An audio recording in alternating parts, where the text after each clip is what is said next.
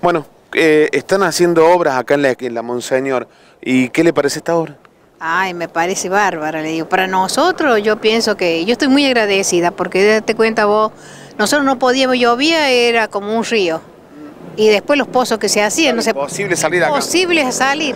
En cambio ahora, por lo menos tenemos para firmeza para Claro. poder movilizarlo. Hacía, hacía mucho que no, que no veía una obra acá en la esquina, ¿no? No, hace mucho, mucho. Yo estoy muy agradecida. Yo le decía al chico francés, yo le digo, para mí, tener que pagar lo que hay que pagar es una comodidad para mí. Porque ya estaba cansada de ver tanta agua.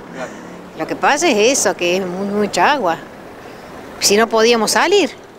Ha cambiado mucho la calle, ¿no? La esquina. Sí, sí, sí, sí, sí. Yo pienso que tendría que haberlo hecho hace muchos más años, pero bueno, no lo hacían, no lo hacían. menos llegó. Llegó y estamos felices, mira. Bueno, muchas... Te han hecho cordón cuneta al final. Sí, ¿Y qué te parece la obra? eh, por ahora está bien, ¿Por qué por ahora? porque era la calle que no se podían andar, las calles muy feas.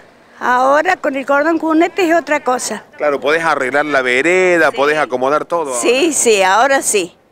Bueno, bueno, muchas gracias. ¿Podés entrar el auto ahora? Pero hay que tenerlo al auto Claro, para bueno. entrar. Te han hecho cordón cuneta, están trabajando sobre tu calle ahí en la Monseñor Lindor Ferreira. ¿Cuál es tu opinión de, con respecto a esta obra? Yo estoy muy conforme porque hace rato que eso lo tendrían que haber hecho, porque esa calle era intransitable. Ahora pienso que va a mejorar. Y sí, ahora O podés sea, acomodar la vereda, darle un nivel. Queda un nivel, o sea, se va a poder caminar y andar. Esto no es, cuando llovía era imposible, no se podía andar.